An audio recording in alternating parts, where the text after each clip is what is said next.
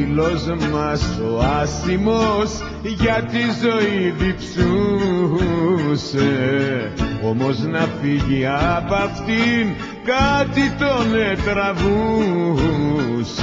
Ο φίλος μας είχε καημό και τον κράταγε κρυφό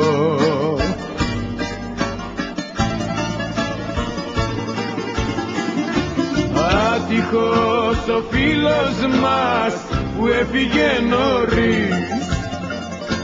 Ή μήπως ήταν τυχερός και άτυχοι εμείς.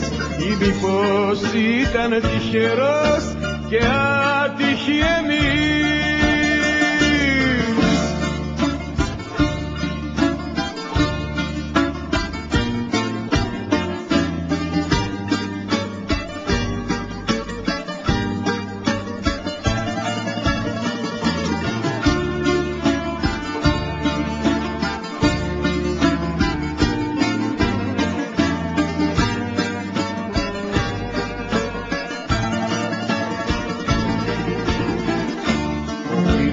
μας είχε καημό μα δεν το ομολογούσε.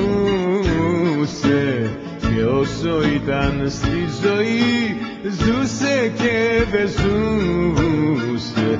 Ο φίλος μας είχε καημό και τον κράταγε κρυφό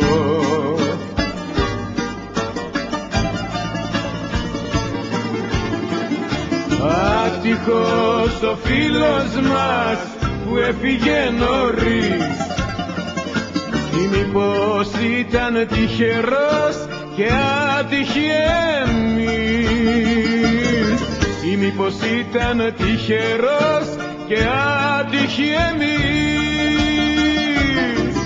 Άτυχος ο φίλος μας που έφυγε νωρίς ή μήπως ήταν τυχερός και άτυχοι εμείς;